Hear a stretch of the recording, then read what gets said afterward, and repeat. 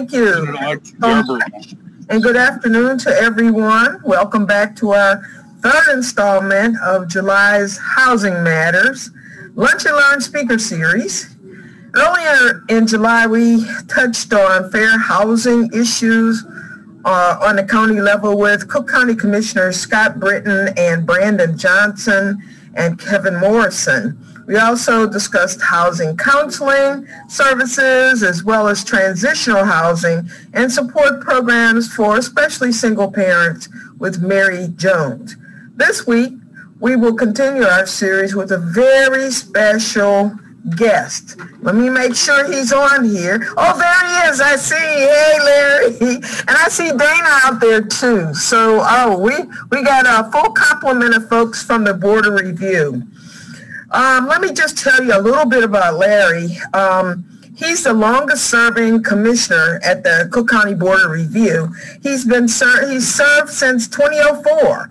He's committed to making Cook County Board of Review transparent, efficient, and accessible to ensure that all taxpayers do not pay more than their fair share of property taxes. We like that. we only want to pay what we owe. Commissioner Rogers' commitment and belief in the work of the Board of Review is why over 10 years ago, he sought this office to represent the constituents of the 3rd District. He knew that the work of this office in reviewing property assessment valuation appeals was important and its impact on families, homeowners, and businesses was great. Therefore, he made it a priority to educate property owners of their right to appeal their property assessments by going into the communities and bringing the services to, of the Board of Review through community outreach efforts. Many of you probably know who he is and know uh, and have seen him in the community um, putting on these workshops. Accessibility to this office is essential, and his office has worked diligently to leverage technology to make the office and overall process more accessible, efficient, and transparent. The, the employees of the Board of Review are here to serve the public and will gladly assist all of you throughout the process, answer any of your questions and ensure that you understand what evidence you might need to best support your appeal and warrant a reduction in your property assessed value. Commissioner Rogers is an attorney at the law firm of Powers, Rogers, and Smith. He has a very long history of advocating for victims' rights, representing individuals and consumers who have suffered injuries or lost loved ones due to negligence by individuals, corporations, and even government. Now, he advocates for the nearly 2 million residents of Cook County and the board and, and that the Cook County Board of Review represents. Commissioner Rogers, thank you so much for taking time out of your busy schedule because I know how busy you are. And I'm glad that you're giving us a few moments of your time to, to share with us. This is the Maywood Proviso Rotary Club and my employees are on this line as well, so they want to hear from you. Um, I've given some basic information about you, but uh, could you tell us a little bit more about yourself and your work at the Board of Review? Sure. First, let me thank you for the opportunity to present. Um, it's rare that we get a chance in such a small uh, group to really exchange ideas, thoughts, and, and expose you to what we do at the board. But I welcome these opportunities, and I appreciate the opportunity, uh, the chance to speak to the Rotary Club and your employees. Uh, but before I do that, I do want to tell you what a great and fantastic clerk we have in Karen Yarbrough. She does a fantastic job uh, she has really uh, brought about change in that office, much needed change that allows our elections and the other services provided that office to move smoothly. Uh, she works well with people, which is important in government and not always the case. Uh, but she's just been a joy and pleasure to work with. Uh, I met Karen uh, when I first decided to run for office years ago, and we became we became fast friends and supporters of one another. And uh, it's, it's been a, pleasure to work with her in government and outside of government to make sure we get qualified and capable elected officials. Uh, I do see my friend Henderson on the, uh, on the phone as well. I want to acknowledge him as well. He's also committed to service and has done a great job over the years. Um, and then let me introduce to you someone I'm very happy about and proud of for the work she does in our office. And that's Dana Pointer. She is my director of outreach.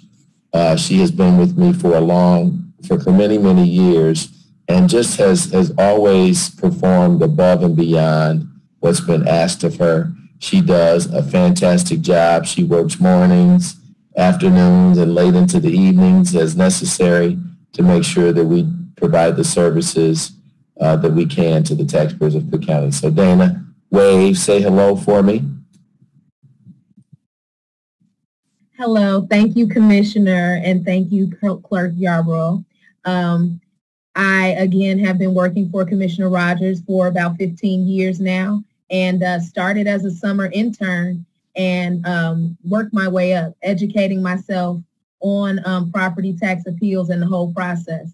And currently, I'm taking courses as we speak earlier this morning um, for more certifications so that while I am out educating the taxpayers, I can make sure that I'm answering all the questions. There are new uh, uh, unique situations that have been coming up. So I just want to make sure I'm able to do that. So in August, we're going to be kicking off our outreach session, um, and we already have a few things um, in the working. So you guys can check our website, or you can also um, join our texting service. The number is 474747, and you text the word easy join. And once you do that, you'll hear about all of our upcoming events that Commissioner Rogers will be hosting to educate everyone on the process. So again, I want to thank you all for those few minutes, and um, I'm glad to be on the call today. It, she's fantastic. Um, you'll, you'll keep your eyes out on her. I always worry about her running against me one day. She does such a fantastic job. But uh, we need good, qualified, and capable people like Dana who are committed to service to serve, and we need to support them. So I've been happy to support her, and she's uh, been, been, been great to work with. Uh, so let me talk a little bit about who I am. My name is Larry Rogers Jr. I'm Commissioner of the Board of Review. I was first elected in 2004 with the support and help of, of Karen Yarbrough as well. And uh, I was elected to this office. Uh, what is the Board of Review?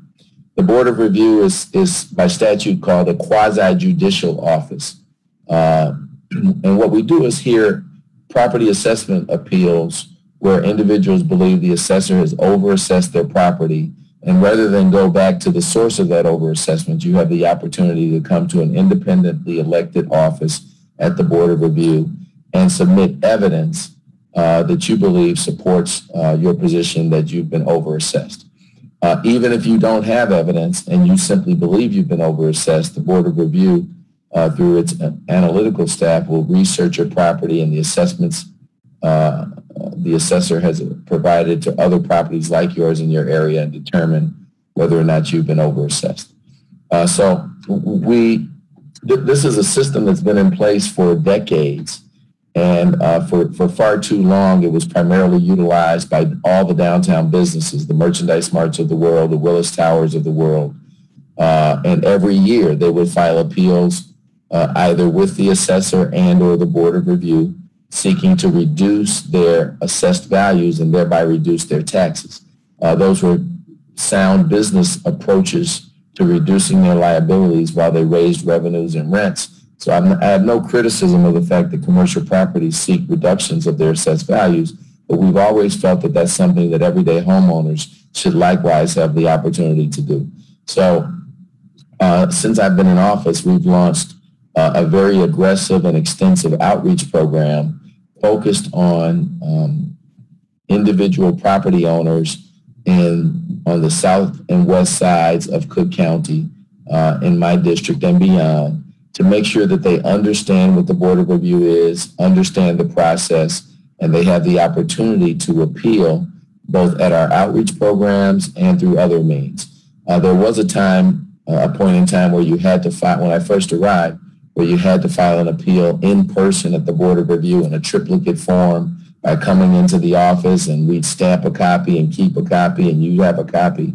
And since that time, we've, we've uh, instituted a great deal of technology that makes it as easy as possible to file an appeal. Um, uh, you can file online through our, our website at cookcountyboardofreview.com. Dana mentioned our texting service, uh, which allows you to receive notifications of when the filing periods occur. Um, and you can all, always come into the office. Uh, or you can come to one of our outreach events and we, we accept the appeals right there at the outreach events so that, um, uh, again, the process is as easy as possible. It's always been my position that the more people that appeal in a given area, the better context we have for what are appropriate assessed values and where the assessed values are inappropriate. So it does not hurt you to file an appeal.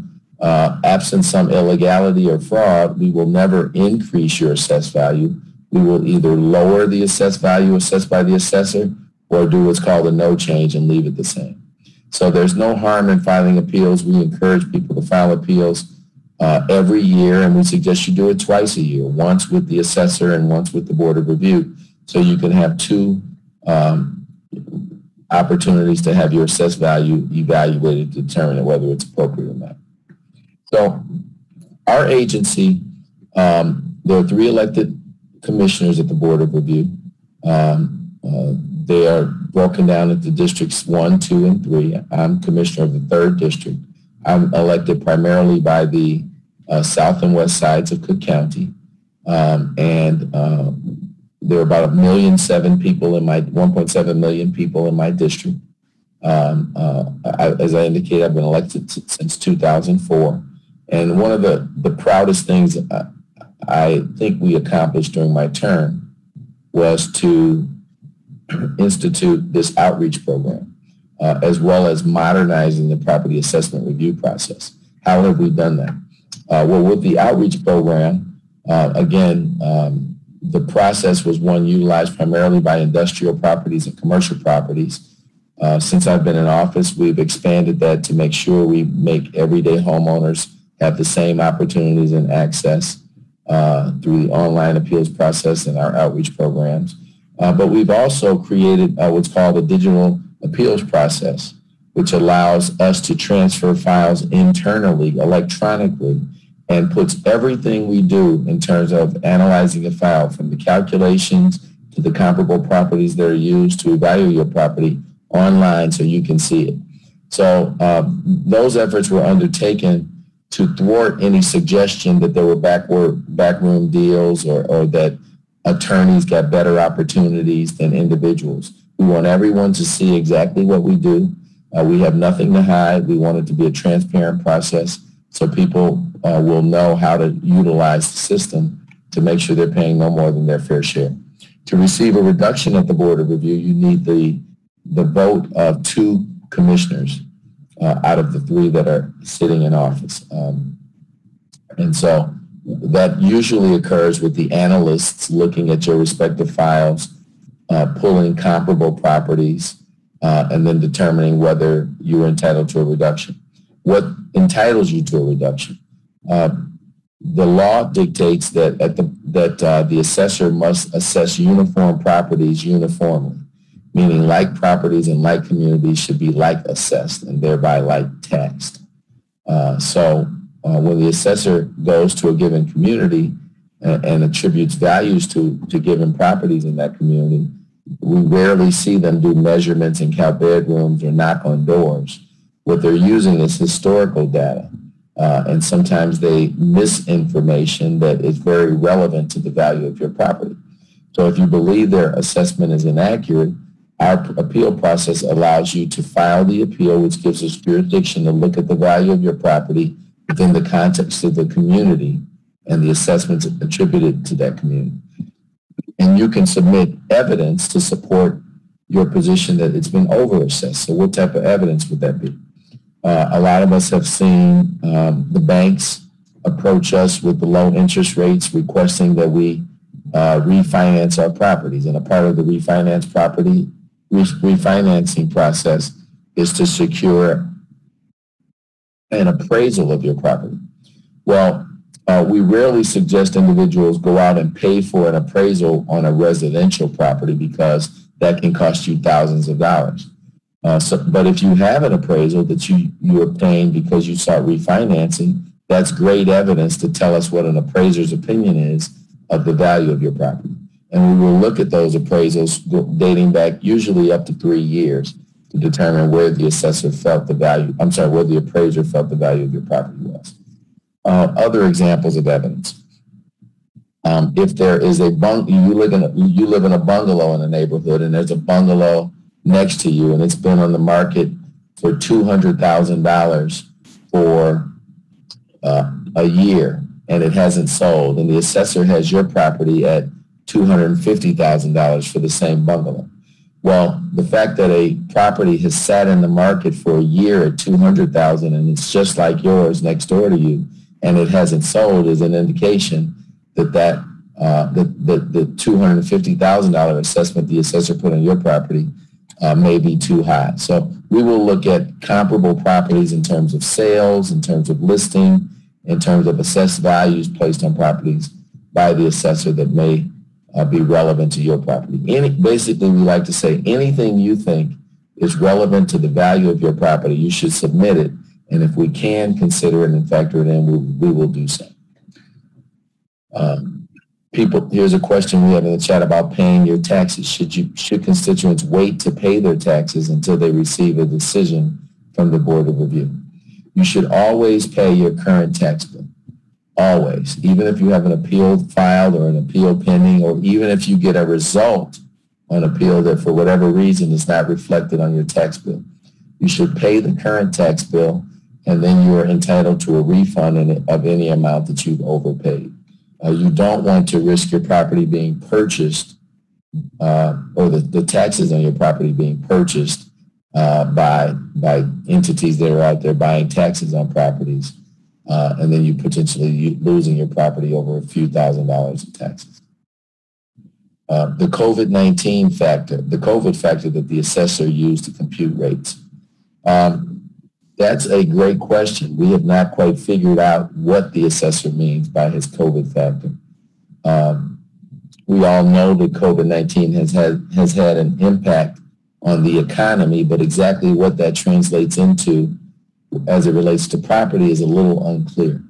Uh, unlike commercial properties, uh, like hotels, for instance, which had to close down due to COVID, therefore they don't have revenue and revenue is used to evaluate the value of properties, that type of analysis does not apply to homes.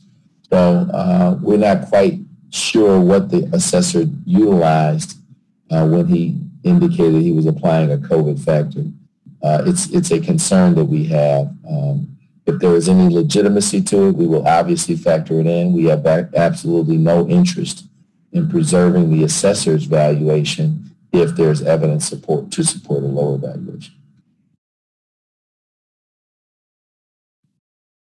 Here's a question. You mentioned through an appeal your property taxes will not be raised. However, is it possible for the property tax to be raised the following year if your property is assessed at a higher value when appeal? The short answer to that is no. Um, again, the assessor places a, a value on your property when you appeal with our agency, you're saying that assessed value is too high. We will, we will review evidence of value of the property, and where there's a where there's evidence to support it, we'll grant a reduction. If there's no evidence to support it, we will leave a no change, and that value will be used to calculate your tax bill. Let, let me also explain, talk a little bit about the cycle. Cook County taxes you one year in arrears. So the, the tax bill that you're paying in 2021 is for the, uh, the values that were attributed to your property in 2020. When you appeal in 2021, you're appealing the next tax bill.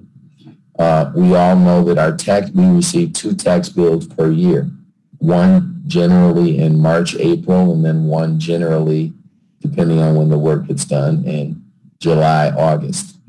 The first tax bill you you receive, you can calculate immediately based upon your prior year's taxes because your first tax bill is 55% of what you paid the prior year. If you look at all of the property taxes you paid in 2019 and multiply that by 0.55, you know exactly what your first installment tax bill will be before you receive it. The second tax bill is generated after the assessor has assessed your property the Board of Review Appeals have been heard and decided, then your assessed value has been calculated, the taxes from the different taxing districts applied, then they generate the second installment bill. Uh, what they do is to determine the total tax bill, reduce what you paid in March, April, and then your second installment bill is the difference. So it's important to have your appeals filed and decided so that we can determine as low of an assessed value, an appropriate assessed value as possible. And so that that is used to calculate your second installment tax bill and hopefully lower it uh, below what you paid before. Um, that's, that's the process. Uh, we're in the midst of that process right now. Uh, historically, uh, we have gotten all of the tax bills out by July 1st. This year, that process is delayed uh, largely because the assessor did not timely complete his role and, and work and, and get it to the other taxing, uh, the other parties that play a role. So the whole schedule is behind. It also has something to do with COVID and the COVID impact on government and the ability of government to work in its offices. Here's another question. Is Zillow home value estimate a reasonable source of evidence? Um, Zillow can be right, Zillow can be wrong. Um, but Zillow is a great tool for an everyday homeowner to utilize to provide us an example of why they think their property has been overassessed. We will take a Zillow estimate and utilize that along with other comparable properties in your area and the assessed value of your property to determine whether or not the assessor seems to be accurate. So I encourage people to utilize Zillow as a tool to submit uh, as some evidence to support that the value of the property is inaccurate. Question, is it really worthwhile to appeal? I would say the answer is yes. We have seen uh, success rates ranging between 60 and 75, 80%, depending on the year and the volume in terms of success, meaning six to eight out of, out of every 10 people that file an appeal with our agency have seen some type of a relief uh, in a given year. So I would say that's worth appealing. It doesn't cost you anything. We've consistently uh, uh, rebuffed any efforts to suggest that taxpayers should pay to file an appeal to correct an, erroneous assessment. We think that should be a fee, free process, and we have successfully thwarted any efforts to require taxpayers to pay a fee to appeal.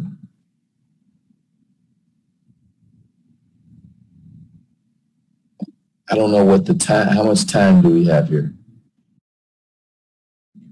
Well, it's, it, we don't want to, uh, it's 1255. You probably have another 10 minutes.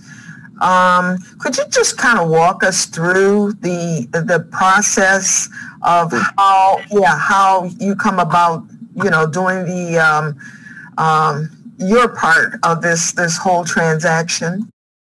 Sure. So, so I've been a lawyer now for almost 30 years. And in my practice, I represent individuals and advocate for them uh, in primarily personal injury and wrongful death cases. So I view my role as a, as a Cook County Board of Review Commissioner largely the same. Um, while I am an arbiter or decider of the appeals, uh, I am very much an advocate for everyday citizens having access, understanding the process, and um, and I think it's appropriate for us to assist them in identifying evidence that may support their appeals. Um, and that's what we do at our agency. So if you do nothing but file an appeal with our office electronically, which takes you about five minutes, uh, what we will do, that will be randomly assigned to an analyst. That analyst will utilize information available um, on the values of property in your area and the classifications of property in your area to identify where the assessor has assessed other properties. And um, the, the, the descriptions of the properties provide their square footage, different characteristics in terms of whether they're brick or, or, or stucco or wood frame, uh, information about whether they have basements or bedroom, numbers of bedrooms, all that types of information and we find the properties are, that are most comparable to your property and that are closest to your property. And we identify uh, a variety of comparables to your property. And if those have lower assessed values, we can use those as comps to lower your assessed value. After that first analyst reviews the property, it then gets sent to a second and third analyst. They do a similar analysis uh, and review the analysis by what we call the first cut or first an- analyst and either agree or suggest a modification. And then you need two of those analysts to agree on a reduction to for your reduction to go through. If there's no evidence to support the reduction, then we do what's called a no change. We do not increase the values of property. We are not assessors. We are quasi-judicial officers who hear evidence of value of properties. Our job isn't to assess the property. Our job is to uh, hear evidence of value of the property. So that's what we're doing when we review evidence you send in or we find evidence relevant to the value of the property. Once that process is completed, we certify the results and our numbers trump the assessor's number and our numbers are utilized to calculate your, your uh, second installment tax bill. Um, once, I like to say that your tax bill, I'm sorry, your assessed value is like your share of a pie. So if you take uh, the village of Maywood, for instance, it has a certain amount of money or levy that it costs to run the village for fire trucks and police cars and all of those things. Um, your house represents a sliver of that pie to fund those governmental services. Um, and, and by determining your assessed value, if we reduce the assessed value, your sliver gets smaller compared to the whole pie, thereby reducing the ultimate tax rate and levy that is applied to reduce your tax bill. Um, that's, that's a quick and dirty explanation of how that process works. Okay. Um, are there other questions for Commissioner Rogers? Seeing none, let me thank you for um, making yourself available. Like I said, I know how how um, you know, how hard you work. And I know you're probably the job that pays your bills takes up quite a bit of your time. But I really appreciate you taking out this time to be with us today. And I'm going to turn things over to the president. Now, President, um, Commissioner Rogers, we appreciate you. Thank you, thank you, thank, thank you. you. Thank you. Thank you. Commissioner, we're grateful for you taking the time today. And this has been very good and interesting information. Appreciate it. Thank you for having me. And I'm happy to come back anytime if you think I can provide some valuable information. Thank you.